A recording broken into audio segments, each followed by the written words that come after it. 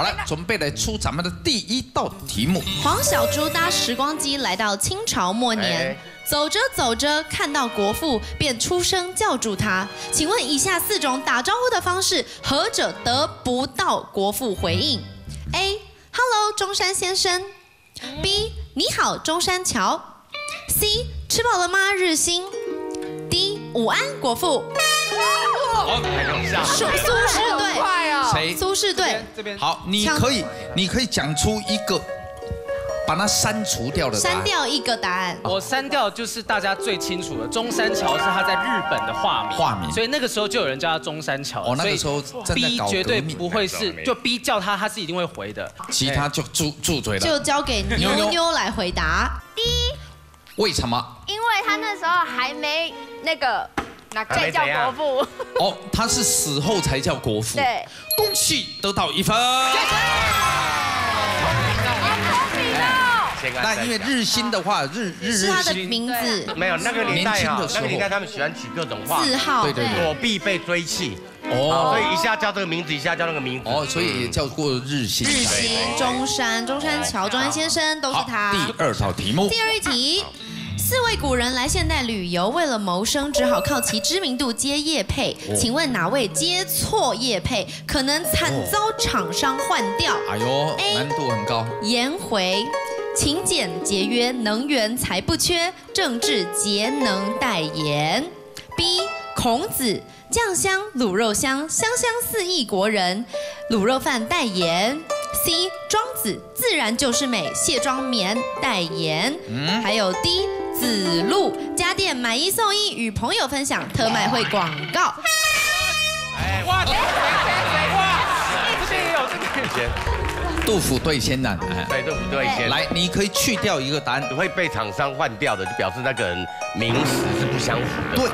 对，对不对？嗯，那所以像像颜回这个，因为他本来就是很贫穷、很节俭嘛，对不对？啊，所以所以他不会那个，所以他不能他不会被换掉，一瓢饮。哎对。所以删掉的是选项 A，剩下 B、C 猪让小猪来选择。好好哇，B C 我心里有个答案了，嗯，告我觉诉大家我觉。得是 B，哦，孔子酱香卤肉饭香香四亿国人，为什么？因为孔子他应该吃素吧？因是孔子吃素。他应该吃素吧？我知道他是四亿国人呢，孔子不是和尚，对，真的吗？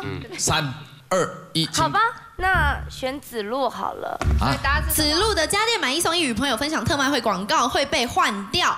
哦，子路感觉不是一个这么爱分享的人，所以 确定了吗？以 对，那我选猪好了。很熟哎，好，小爸被他蒙到。猪选猪上，对。恭喜答错。好了，按一下就好，按一下就好。那这这就扣一分了哦哈，因为为什么？你看子路他的性格就是说与朋友分享，对对，与你分享的快乐胜过独自拥有，就是他。与你分享的快乐胜过独自用手。拥有，没有，有。好，哎，一，请举手，请举两手，一三，哦哦，来这里这里，哎，去掉 C，去掉 C，对。